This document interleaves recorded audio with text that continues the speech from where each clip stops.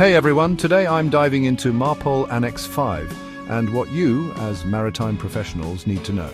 MARPOL, or the International Convention for the Prevention of Pollution from Ships, is crucial for protecting our oceans. Annex 5 specifically deals with the prevention of pollution by garbage from ships. Let's break it down. First up, what is Annex 5? It's an international regulation that prohibits the discharge of all types of garbage into the sea, except in certain situations. This includes plastics, food waste, domestic waste and operational waste. The idea is to minimize marine pollution and safeguard marine life.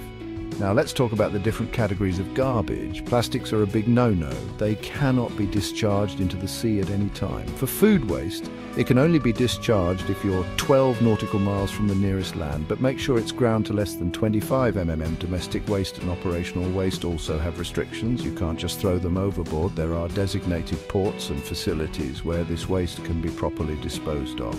One key point to remember is the garbage record book. Ships of 400 gross tonnage and above and ships certified to carry 15 persons or more must maintain this record book. Every discharge or incineration of garbage must be logged, detailing the type, quantity and discharge method. This isn't just a formality, it ensures accountability and compliance with MARPOL regulations. Annex 5 also requires ships to have a garbage management plan. This plan should outline procedures for collecting, storing, processing and disposing of garbage, including the use of onboard equipment. It's about ensuring everyone on board knows their responsibilities and follows the correct procedures. Another important aspect is special areas. These are designated sea areas where the discharge of garbage is even more restricted. These include the Mediterranean Sea, Baltic Sea, Black Sea, Red Sea and several others.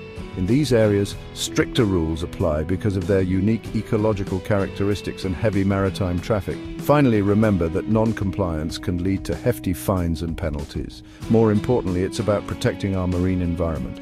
Every piece of garbage improperly disposed of can harm marine life and ecosystems. As maritime professionals, it's our duty to comply with these regulations and ensure our seas remain clean and healthy. So there you have it, a quick rundown of MARPOL Annex 5.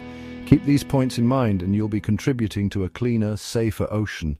Thanks for tuning in and stay safe out there.